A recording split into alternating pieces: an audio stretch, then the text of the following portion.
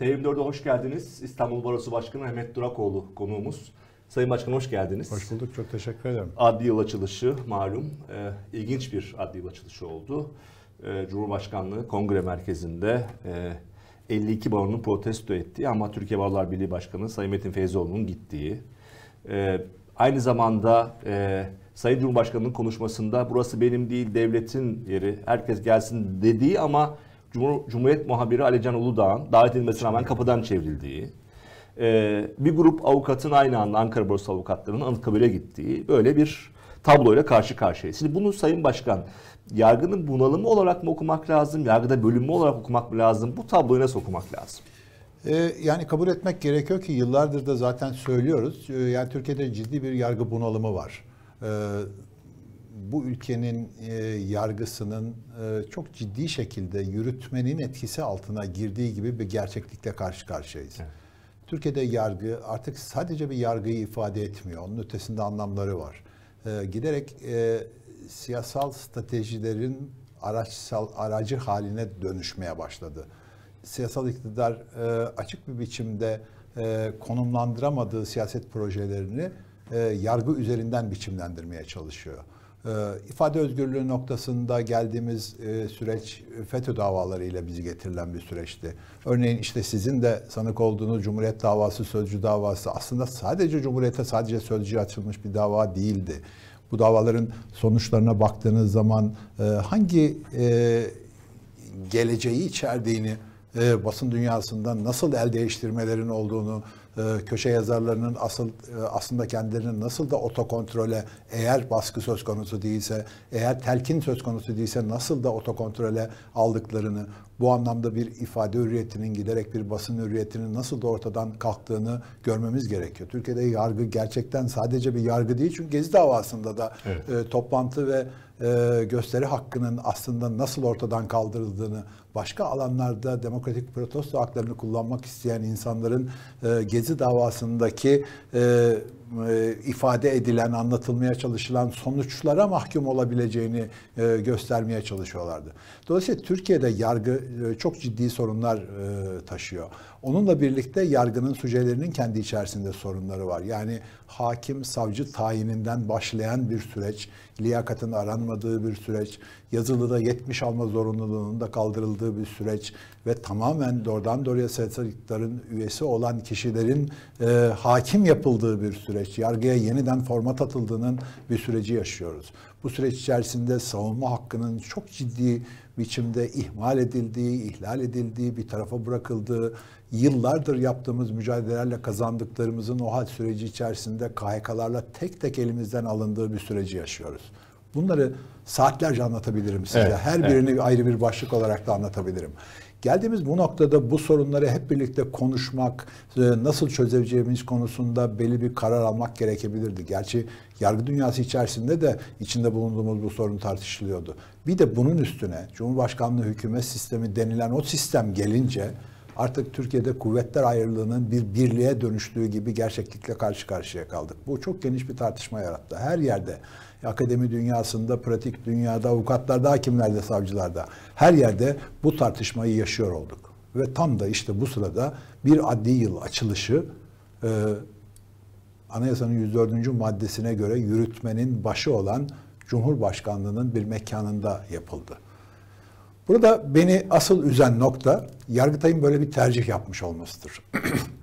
bu tercihte üzülmemi gerektiren nokta da böyle bir tartışmanın yapıldığı sırada böyle bir tercihin de ortaya çıkmış olmasının basit bir konum tercihi olmadığıdır. Aslında Yargıtay bu son kararıyla çok açık bir biçimde kendisinin bu tartışma içerisindeki yerini belirlemiş oldu.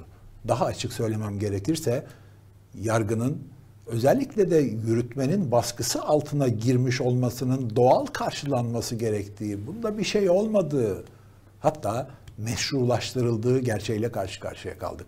Biz işte İstanbul Barosu olarak bu fikre ortak olmadık. Bu nedenle de oradaki e, bu açılışa da katılmadık. Sayın Sayın Başkan tabii meslek icabı biz e, sonuna kadar her konuşanı dinliyoruz. Bugün e, Yargıtay'ın e, da başkanlığın konuşması da Sayın Feyzioğlu da Sayın Cumhurbaşkanı Erdoğan'ı da dinledik.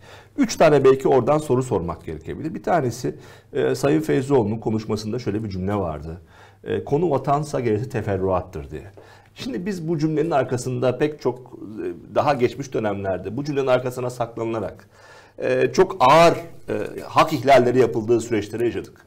Bunu siyasetçi söylediği zaman bir şekilde e, biraz daha normal karşılıyoruz ama bir hukuk insanı söylediği zaman yani e, ki şu anda cezaevinde avukatlar var, darp edilen avukatlar var, öldürülen avukat var, Tahir Elçi. Şimdi böyle bir şeyde bu cümle size ne ifade ediyor? Yani konu vatansa e, gerisi teferruattır. E, oraya katılmamak lazım o zaman. Yani o eğer bö- bu bir gerekçeyse. Bu bana şunu anlatıyor. E, e, Sayın Feyzioğlu içinde bulunduğu konumu e, kendi yapması gereken görevinin gereği olarak ortaya koyamadığı için bunu başka türlü gerekçelendirmeye çalışıyor.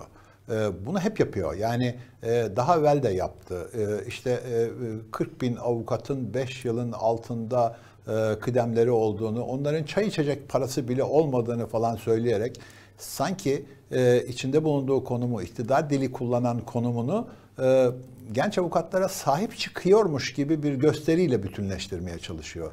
E, Bence içinde bulunduğu zaten yetmezliğin bir başka biçimiyle e, politik bir çerçeveye dönüştürülmesi çabasından başka bir şey değil bu. E, bizim anlaşılmamız gereken bir şey var. Yani e, bunu herkesin bilmesi gerektiğini düşünüyorum. Yani biz saatlerce e, bugün de bu tartışmalar yapıldı. Barolar çok siyaset yapıyor, siyasetin içinde falan filan diye.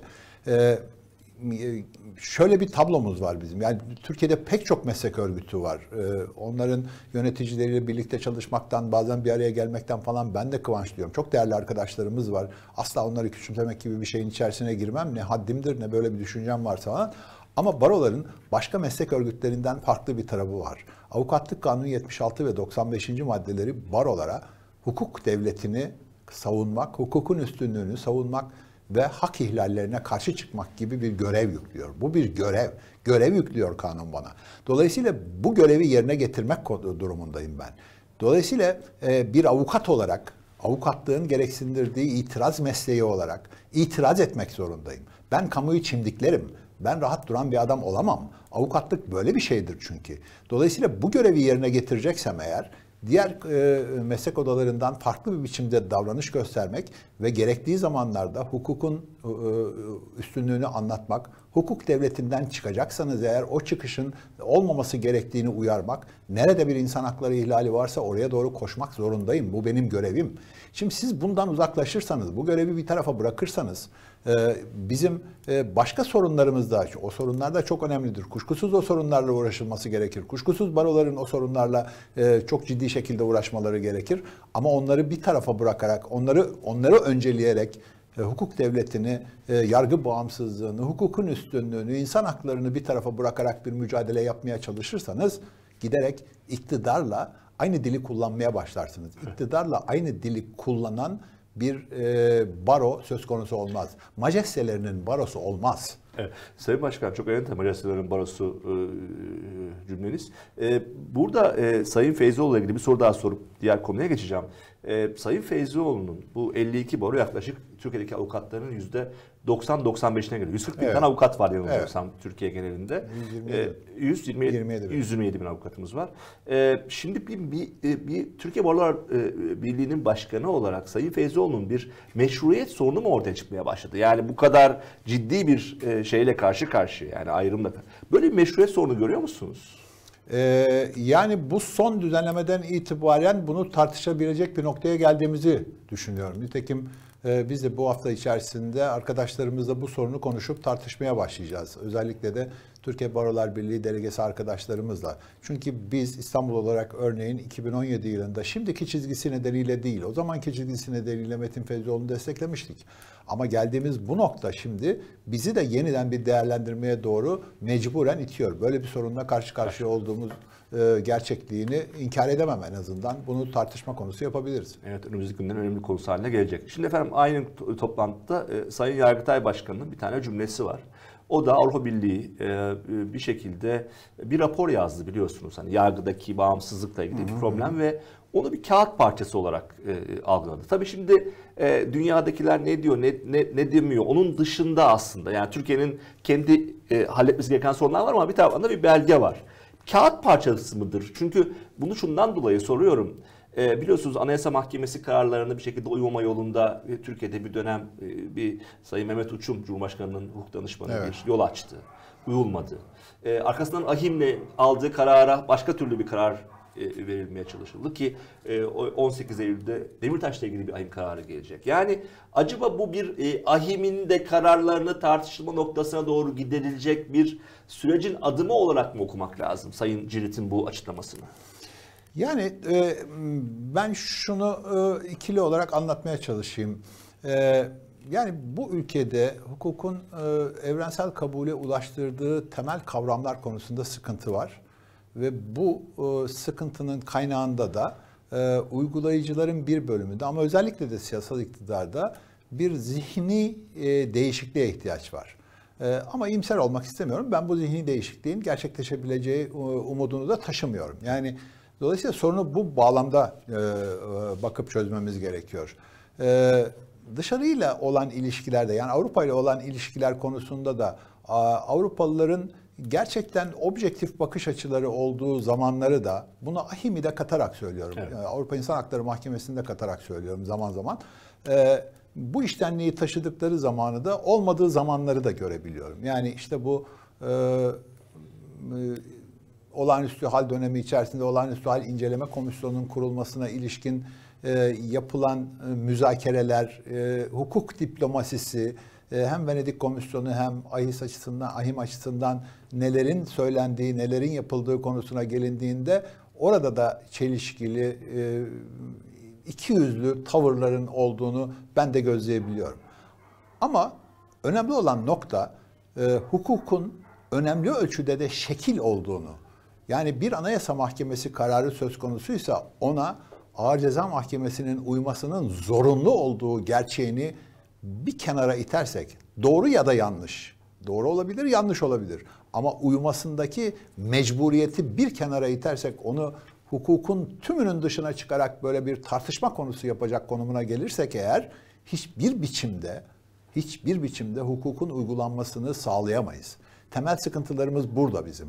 E, nitekim böyle bir köklü değişikliği bir türlü gerçekleştiremiyoruz. Asıl sıkıntı oradan kaynaklanıyor. Evet.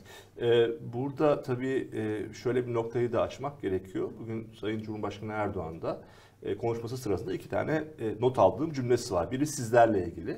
Provokatör olarak e, baroları bugünkü gitmeme sebebinden dolayı. Hı. Bir provoke etmek için mi yaptınız yoksa bunu başka türlü bir düzlemde Türkiye tekrar hukuka doğru çekmek konusunda bir tavır mıydı yaptığınız? Hayır inanın yani 3-4 baro dışında mesela e, biz Türkiye'nin en büyük barosuyuz. E, görüş alışverişi yaptığımız baro olmadı. Bu e, katılıp katılmama konusundaki kararı e, vermeye çalışırken bahsediyorum. Hı hı. E, herkes son derece net bir biçimde katılmama konusundaki tavrını ortaya koyarak şeklini konuştu ancak.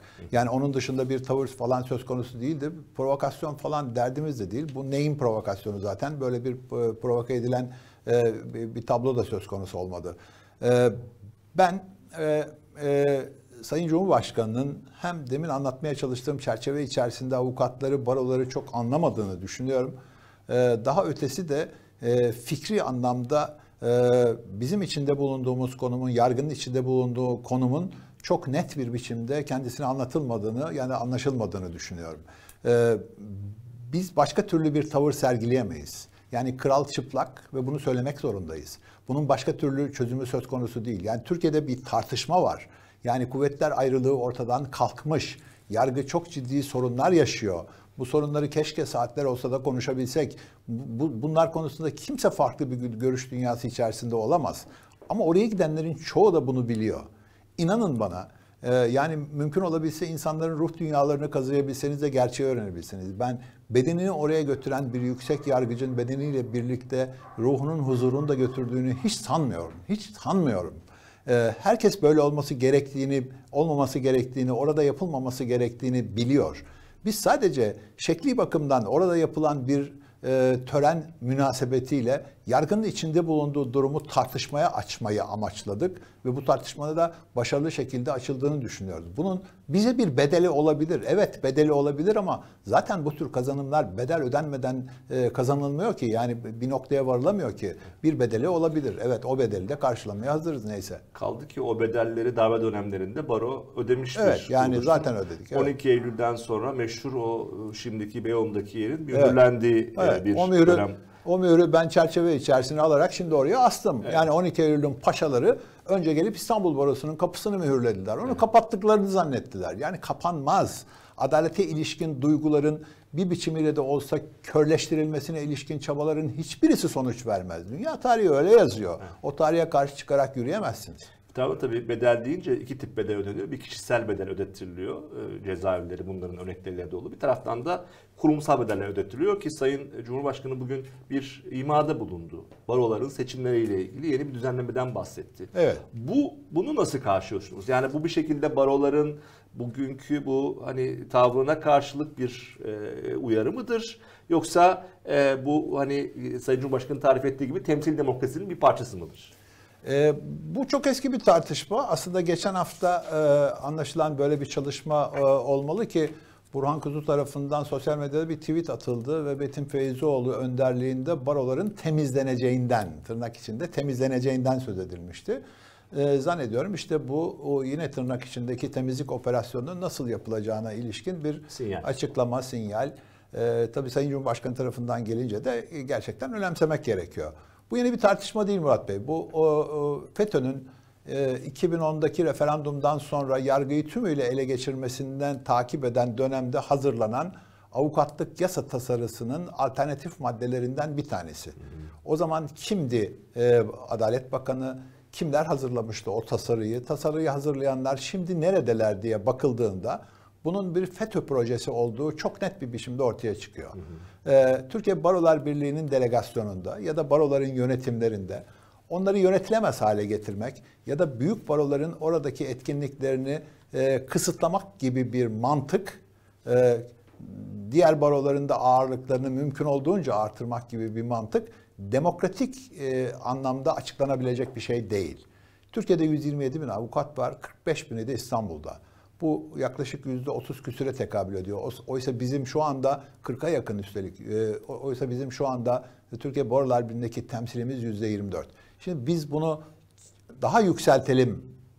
Yani temsil demokrasi gelecek diye daha mı yükselteceğiz? Hayır öyle düşünmüyorlar. Tam tersine bunu azaltmayı düşünüyorlar.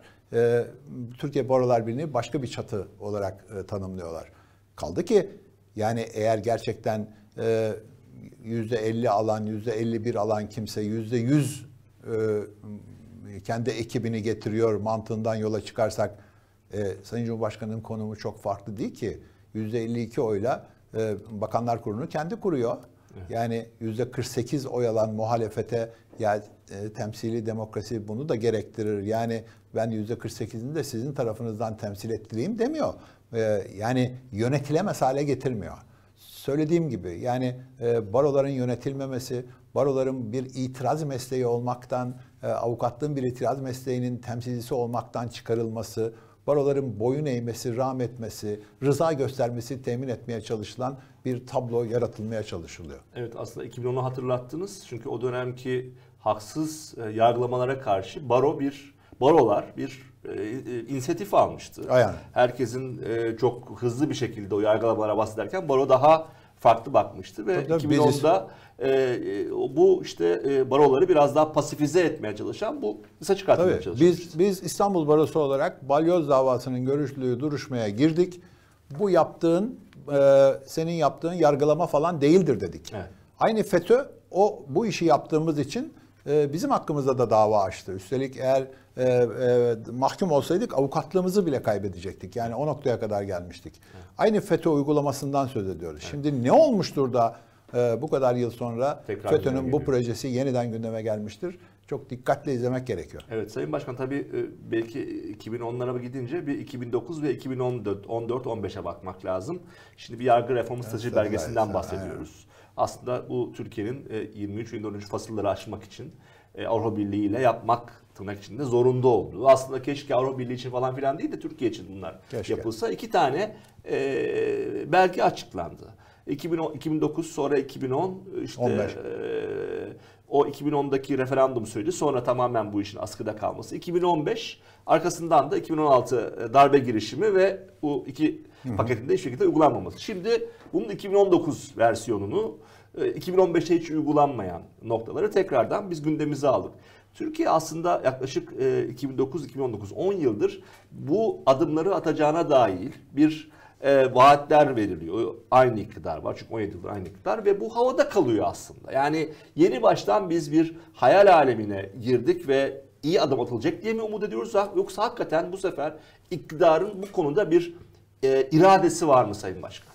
E, bu bu iradenin e, samimi biçimde geliştiğine inanamıyorum. Yani e, söylediğim gibi bu yargı reformu strateji belgeleri sonuç itibariyle 23 ve 24. fasılların açılması için hazırlandığı için e, bu fasılların açılması bağlamında gerekli belgeler olarak ortada duruyor. Ama bizim asıl uygulamaya yönelik olarak yani zihinsel değişim demeye çalıştığım şeyin e, gerçekleşmesi gerekiyor. Bunu yapmadığınız sürece bir noktaya varabilmek konusunda son derece büyük sıkıntı çekiyorsunuz. E, aramadan yargıç tayin ederseniz e, suç ceza hakimlikleriyle ilgili e, bunca şikayet ortada ortada dururken onlarla ilgili en küçük bir düzenleme getirmezseniz Türkiye'de yargının e, yürütmenin baskısı altında olduğu gerçeğine karşı herhangi bir çözüm üretmezseniz orada e, afla ilgili olarak yapacağınız düzenleme, yeşil pasaportla ilgili olarak yapacağınız düzenleme ya da işte sınav, mesleğe kabulde sınav getirilmesiyle ilgili yapacağınız düzenleme, tutuklamalarla ilgili yapacağınız düzenlemeler e, önemlidir bunlar. Yani küçümsemiyorum ama bunlar bizim anlatmaya çalıştığımız, şimdi tartışma zeminine getirmeye çalıştığımız tepedeki genel sorunların benim avukatlık yaparken haz almamı sağlayacak. Benim avukatlık yaparken rolümü hiç kimsenin çalmadığı, çalamayacağı, benim avukatlık yaparken gerçekten savunma hakkını sonuna kadar kullanabildiğim bir tablonun ortaya çıkması gerçeğini hiçbir zaman e, görmeyen, gözetmeyen bir e, e, tablo bütününden söz ediyoruz. Yani buradan bir şey çıkmasını e, ya çı- çıkar küçük küçük şeyler çıkar kuşkusuz ama e, bunların e, bu söylediğimiz anlamdaki sorunlara çözüm olamayacağını düşünüyorum. Herhalde zaten Sayın Başkan bir avukatın e, yargının üç ayağından en önemli ayaklarından bir tanesi savunmayı, savunmayı temsil eden avukatların yeşil pasaporttan veya kendileriyle ilgili vergi düzenlemesinden daha da önemseyeceği Herhalde. hak sorunları vardır diye Vardır. tahmin ediyorum. Ve bunun hani bu kadar hani geçen seferki görüntüyü hiç unutmuyorum. Sayın Cumhurbaşkanı yeşil pasaportu açıklarken Sayın Feyzioğlu'nun e, bunu çok sevinerek alkışlaması. Tabii bu alkışlar pek unutulmuyor çünkü e, dediğim gibi hani e, ben adliye koridorları içinde dövülen e, e, avukatları da e, gördük, okuduk, Evet. şahit olduk. İşte e, öldürülen avukatlar, hakkı savunmayan bu kadar problem varken hem avukatlık mesleğinin hem genel Türkiye'deki e, hukuk sisteminin bu şekilde rahatlık tabii biraz insana acaba neden, ne Evet. beklenti var diye İşte bu, düşündürüyor. tabii bunu söylemeye çalışıyorum. Evet. Yani biz yargı içerisinde onun kurucu unsurlarından birisi olarak e, taşımamız gereken fonksiyonu taşıyamıyorsak, bunun için e, bize herhangi bir şekilde izin verilemiyorsa, yani artık adliyelerin bazı yerlerine girmemiz bile zor hale gelebilmişse, bu tablodan herhangi bir biçimde yeşil pasaport olarak kurtulabilmemiz mümkün değil ki. Yani yeşil pasaport adliyede bana kısıtlanan alanlarda geçecekse evet yani vize verecekse böyle bir şeyi biz de destekleyelim, yürüyelim. Kaldı ki yani bunlar e, böyle lütuf gibi sunulmamalı. Geçenlerde Sayın Cumhurbaşkanı öyle bir laf etti. Yani bak işte Metin Feyzioğlu istiyor biz de vereceğiz. Yani madem karşısınız siz de yeşil pasaportu almayın falan dedi. Yani bir lütuf sunuyor e, gibi algılanıyor. Ya da yeşil pasaportla içinde bulunduğumuz durumda bizi sessizliğe sürükleyebilecekleri, teslimiyete sürükleyebilecekleri bir ortam yaratılmaya çalışılıyor. Kuşkusuz alacak, herkes alacak. Yani bunu hak eden herkes alacak kuşkusuz. Ama onu almak demek e, yani rağm etmek, boyun eğmek anlamına da gelmeyecek ve biz bu konuştukları söylemeye devam edeceğiz. Yani siz en yakından biliyorsunuz işte. Yani e, Cumhuriyet Gazetesi'nin e, 6 e, çalışanı, e, Yöneticisi, yöneticisi, yazarı, yazarı, falan içeride arkadaşlar. Evet. Yani Adalet Bakanı bile bunun bir haksızlık olduğunu söyledi. Çok net bir biçimde söyledi. Cu- parlamentoda grubu bulunan partiler bu konuda mutabık oldular. Ne oldu? Sonunda kalktılar. Deniz kenarında şezlonglarına uzandılar. Onlar şezlonglarına uzanırken arkadaşlarımız da içeride yatıyor. Ya bir haksızlığı tespit ederken insanın yüreği burkulur ve o haksızlığın e, düzeltilmesi için bir bir düzenleme yaparak en azından tatile çıkılır. E, şimdi ne zaman olacak? Ne olacak? E bu Yargıtay niye bir türlü yani mesela infazın ertelenmesiyle ilgili madem o olamadı Türkiye Büyük Millet Meclisi böyle bir karar veremeden tatile çıktı. Madem o olamadı infazın ertelenmesiyle ilişkin bir kararı adli tatil içerisinde nöbetçi kurul vermedi, veremedi, vermedi, verdirilmedi. Şimdi böyle böyle bir tablo karşısında bizim e, yani küçük küçük söylemlerle e, temel amaçları bir tarafa bırakan bir tavır içerisinde olmamızı kimse beklemesin. Evet Sayın Başkan son sorum şu. Ee, avukatlık aslında temelinde bir itiraz mesleği. Yani e, geldi iktidarları tabii e, sor. Çünkü iktidarlar karar veriyor bu hani hukukla ilgili konulara veya mahkemelerde görüyoruz. Bu itiraz mesleğini e, biraz e, ne derler daha farklı bir şekilde yorumlayıp siyasete, üst siyasete yakınlaşma mesleği haline getirebilmesi mümkün olabilir mi? Yani daha çok üstlerdeki e, örnekler bunu yapsa bile barolarda, başka yerlerde. Avukatlar bunu iç, içselleştirebilirler mi Sayın Başkan? Ee, bizim temel sorunumuz e, hem o düzeyde algılanmıyor ya da anlaşılmıyor olmamız. Yani e, kendilerine yakın hissetmeleri gerektiğini düşünmemiz. Bir başka temel sorunumuz da bu söylediğimiz gerçekliğin e, özellikle toplum tarafından da anlaşılamıyor olması. S- biz yargı bağımsızlığı istiyoruz. Bunun için e, yaşamımızı ortaya koyuyoruz. Za- Zaman zaman bedeller ödemeyi göze alıyoruz. Kavgalar ediyoruz, gürültüler yapıyoruz falan. Ee, yani toplum bunu avukatın, hakimin, savcının bir sorunu gibi görüyor. Yargı bağımsızlığı aslında insanca yaşamak demektir. Onurlu yaşamak demektir. Hukuk güvenlidir yargı bağımsızlığı. Yani alnı açık başı dik olan insanın alnı açık başı dik dolaşabilmesi demek. Sabah saat 6'da kapı çalındığında gelenin suçlu olması demektir. Şimdi böyle bir dünyaya kendimizi e, mutlaka adapte edebilmeliyiz. Bunu biz hak ediyoruz. Toplum olarak hak ediyoruz ve bu yaşam tarzını e, toplumun bütün kesimleriyle benimsememiz gerekiyor. Adalet için de aynı şey. Bizim e, toplumumuzun bir adalet talebi yok. Yani Bertolt Brecht diyor ya ekmek gibi su gibi gereklidir diye adalet. Adalet gerçekten ekmek gibi su gibi gerekli. Yani bizim toplumumuz aş istiyor, iş istiyor, ekmek istiyor, su istiyor ama adalet istemiyorlar. Bunu bunu değiştirebilmemiz gerekiyor. Toplumun adalet talebini yükseltebilmemiz gerekiyor. Dolayısıyla kendimizi anlatmak, avukatlık mesleğini anlatmak, hukuk olmazsa hiçbir şey olmayacağını anlatabilmek. Yani avukatın sonuç itibariyle halkın hak arama özgürlüğünün temsilcisi olduğunu, onun teminatı olduğunu anlatmak ve e, bizim mücadelemizin de e, toplumca içselleştirilmesi gerekiyor. Yoksa e, biz Montesquieu'dan beri biliriz. Yani siyasal iktidarlar kendilerini hukukla sınırlamak istemezler. Avukatlar da bu alanda o sınırlamayı sağlayabilmek için mücadele ederler. Bu mücadele her zaman zor olmuştur. Her zaman bedel ödenen sonuçlar ifade etmiştir. Ama geldiğimiz noktada bunu sağlayabilmek konusunda yaptığımız mücadele bizim saygınlığımızın da temelini oluşturur. Evet galiba Sayın Başkan adaleti de sadece kendimiz için istememek gerekiyor. Aynen. Adaletsizlik bizi vurduğu zaman istememek gerekiyor. Ondan evvel isteyebilmiş adaleti herkes için istemek gerekiyor Evet. ve kendi mahallelerimiz, kendi ideolojimiz için değil. Adaletsizlik kime yapılıyorsa. Yani bizimle aynı düşünmeyebilir, farklı düşünebilir. Galiba o zaman herkes istediğiniz zaman bu mutlaka bir gün olur diye düşünüyoruz ve umut ediyoruz. Çünkü cezaevinde bir sürü haksız Tabii, olmuş evet. insan var. Oluyor, oluyor. Yani sonunda oluyor. Yeter ki mücadeleyi göze alalım, yeter ki boyun eğmeyelim, rahmetmeyelim.